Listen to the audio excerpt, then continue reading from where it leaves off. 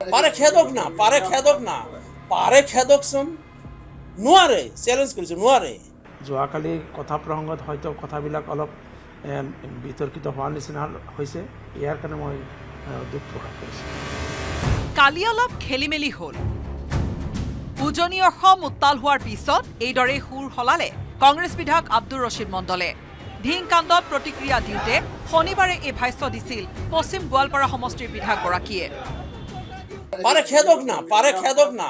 পাৰে খেদকচোন নোৱাৰে চেলেঞ্জ কৰিছোঁ নোৱাৰে কথা কৈ লেঠা লগাৰ পিছত দেওবাৰে শুধৰণি কৰাৰ চেষ্টা আব্দুল ৰছিদ মণ্ডলৰ। কালি আপোনালোকৰ সন্মুখত মই কোৱা কথাখিনি অৱশ্যে প্ৰকাশ ভংগীত কিবা হোৱাৰ কাৰণে হয়তো উজনি অসমত যথেষ্ট প্ৰতিক্ৰিয়া দেখা গৈছে। মই ইয়াৰ কাৰণে দুখ প্ৰকাশ কৰিছোঁ। মাত্ৰ মোৰ এটা আবেদন থাকিব, এই আন্দোলন কোনো জাতি জনগোষ্ঠীৰ বিপক্ষে নহয়, অসম চুক্তি অনুযায়ী বিদেশীৰ বিৰুদ্ধে হওক। ধৰ্মৰ ভিত্তিত, ভাষাৰ ভিত্তিত কোনো জনগোষ্ঠীৰ বিপক্ষে যাতে এই আন্দোলনটো নহয়। যোৱাকালি কথা প্ৰসংগত হয়তো কথাবিলাক অলপ বিতৰ্কিত হোৱাৰ নিচিনা হৈছে। ইয়াৰ কাৰণে মই দুখ প্ৰকাশ কৰিছোঁ আব্দুৰ ৰছিদ মণ্ডলৰ বিতৰ্কিত মন্তব্যত উজনি তোলপাৰ লগাৰ পিছতে জৰুৰী বৈঠক কংগ্ৰেছ নেতৃত্বৰ। ধিং কাণ্ড নিন্দা কৰি দুনাই বিতৰ্কিত মন্তব্য নকৰিবলৈ আব্দুৰ ৰছিদ মণ্ডলক সকীয়ালে বিৰোধী দলপতি দেৱব্ৰত শইকীয়াই। উত্তেজনা বিয়পাব পৰা কোনো মন্তব্য নকৰিবলৈ প্ৰতিজন কংগ্ৰেছ বিধায়কক পৰামৰ্শ দেৱব্ৰত শইকীয়াৰ। ৰচিদ মণ্ডল ডাঙৰীয়াক মই তেখেতৰ এনেকুৱা বক্তব্যৰ ফলত যে মানুহৰ মাজত এটা মানে অশান্তিৰ সৃষ্টি হৈছে এই কথাটো আজি আমি কিছু বিধায়ক ইয়াতে বহিছিলোঁ। তেখে ৰাজহুৱাকৈ মই তেখেতক কৈছোঁ যাতে তেখেতে সাৱধান অৱলম্বনতা কৰি মন্তব্য বা বক্তব্য ৰাখে।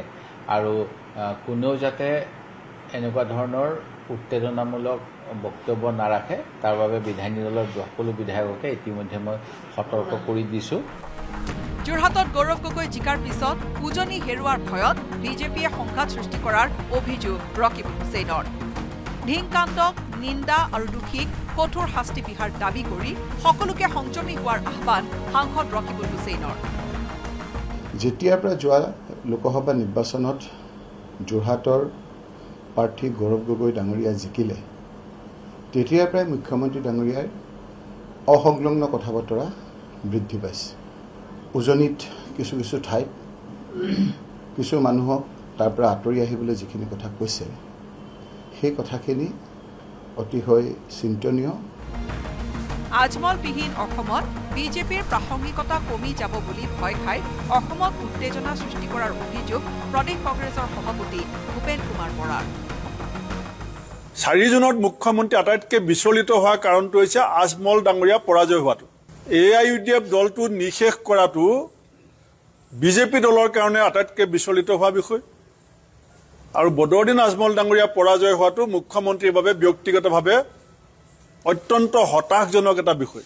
বিজেপিৰ প্ৰাসংগিকতা কমি যাব বুলি পেলাই বিজেপিয়ে ভয় খাইছে।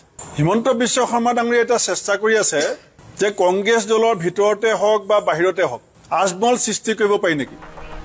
বিজেপিৰ বিৰুদ্ধে সৰব হলেও আব্দুৰ ৰছিদ মণ্ডলৰ ভাষ্যই যে দলটোক বিপদত পেলাইছে সেয়া স্পষ্ট হৈছে দলৰ প্ৰতিজন নেতাকৰ্মীৰ ভাষ্যত। কেমেৰা পাৰ্চন অবিনাশ ডেকাৰ সৈতে অসীম দত্তৰ ৰিপৰ্ট নিউজ এইটিন অসম